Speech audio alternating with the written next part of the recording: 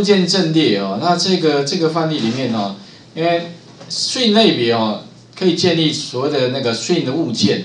那换言之呢，我们也可以建立所谓的 string 的物件阵列。那有别于前面呢，哈，前面的是基本资料型别的阵列。那这里的话是属，因为我们建立的是一个 string 物件，哦，所以这个地方称为所谓的物件阵列。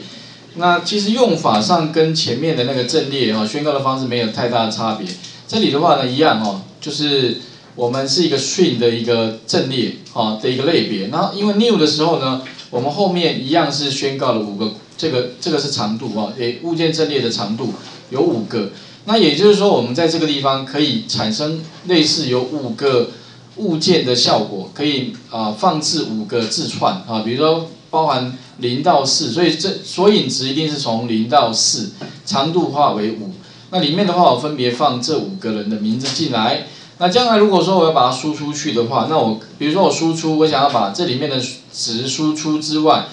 再来判断里面的长度的话，哈，基本上这边哈，我们简简。举一个简单的 sample 给各位看一下，就是说，假如说我今天哦，在这边 new 一个五个空间的一个物件阵列，然后把五个人名字放进来之后，那如果要把这五个人名字输出之外哈，我输出的方式非常简单，就是也是一样哈，跑一个范围零到啊小于它的长度嘛，五啊就是零到四，然后加加，后面的话呢，把这里人的名字分别输出，加上一个斜线，然后呢，把它这边有几个字。几个字实际上就是什么呢？这一个物件的长度输出哈，所以这样的话呢，跑出来各位可以看到，直接执行的话，那这个地方的话就会可以看到执行之后的结果就是类似像这样啊，这个人的名字，然后呢斜线后面加上它的字串长度，那这边三个字两个字啊输出的话就可以看到最后的结果，这个是物件啊物件阵列的使用方式啊。这里的话，我想各位再试试看啊。那等一下的话呢，我们也在等一下后面会再继续看有关于那个所谓的排序法。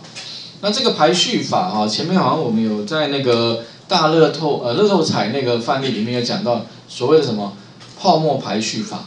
哈泡沫排序。那泡沫排序法实实际上哈，我们等一下会讲，就是说怎么样把，比如说呃，我们如果说不用 array array sort sort 的话。那当然我们可以自己做排序，那这边的排序方式有总共会有这三种，好，那其中我们等一下会先来看一下那个泡沫排序法，哈，我可以请各位再练习一下那个刚刚的那个物件阵列的部分，哦。